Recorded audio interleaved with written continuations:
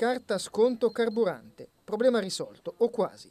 Dopo l'incontro di martedì in regione, il sistema ha ripreso a funzionare e le CNS, le nuove tessere nazionali azzurre che progressivamente sostituiranno le CRS regionali gialle, sono state lette dai dispositivi POS dei benzinai per consentire ai cittadini di usufruire dello sconto. Per settimane molti possessori della nuova tessera nazionale azzurra hanno avuto problemi perché la carta non veniva riconosciuta dai dispositivi per la lettura del codice PIN, essenziale per poter fare rifornimento con lo sconto nelle zone di confine. Per questo motivo, come ricorda oggi Lombardia Informatica in una nota, ai cittadini è stato suggerito di continuare a usare la vecchia carta sanitaria, la CRS gialla, riattivata fino alla scadenza.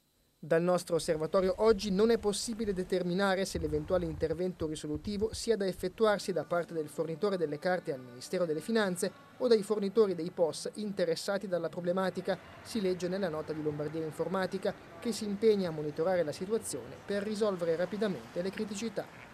È bastato un accorgimento tecnico per rimettere a regime il sistema della carta sconto carburante, commenta Daniela Maroni, consigliere segretario di Regione Lombardia e rappresentante dei benzinai comaschi. Dopo una serie di confronti con i vertici di Lombardia Informatica, siamo riusciti a capire quale fosse l'incomprensione di lettura dei microchip.